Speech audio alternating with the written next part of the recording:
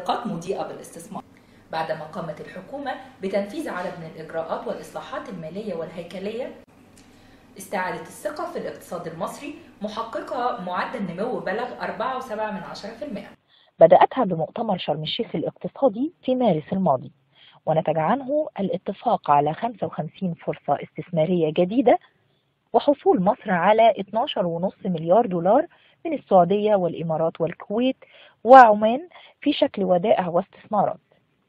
كما ساهم إصدار قانون الاستثمار وتفعيل منظومة الشباك الموحد في تحسين مناخ الاستثمار بمصر بالإضافة لإصدار قانون أفضلية المنتج المحلي بالمناقصات الحكومية. هذا بجانب عقد الرئيس عبد الفتاح السيسي اجتماعات مستمرة مع رجال الأعمال والمستثمرين للتأكيد على تعزيز الشراكة بين القطاعين العام والخاص لتحقيق عملية التنمية الشاملة.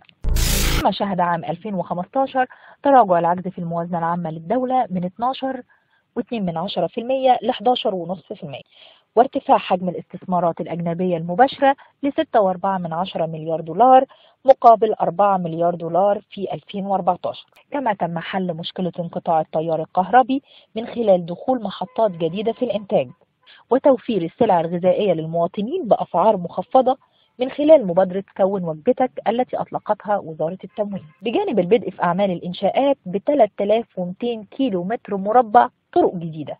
ومع نهاية العام والبدء في مشروع استصلاح المليون ونصف فدان أعلنت وكالة موديز للتصنيف الائتماني منح القطاع المصرفي في مصر نظرة مستقبلية مستقرة مما يؤكد قوة ومتانة المراكز المالية للبنوك المصرية. كما وافق صندوق النقد الدولي على زيادة محفظة مصر من 3 مليار دولار ل 6 مليار دولار لدعم الموازنة العامة للدولة بالإضافة لموافقة بنك التنمية الأفريقي على إقراض مصر 1.5 مليار دولار لدعم الموازنة العامة للدولة وتنفيذ المشروعات التنموية. وبختام نشرتنا الاقتصادية نكون قدمنا لكم ملخص لحياة المصريين في 2015